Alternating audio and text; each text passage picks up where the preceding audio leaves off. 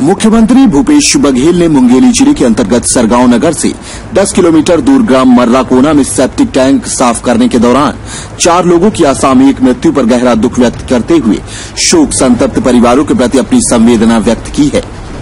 मुख्यमंत्री ने जिला प्रशासन को पीड़ित परिवारों को हर संभव सहायता उपलब्ध कराने के निर्देश दिए हैं।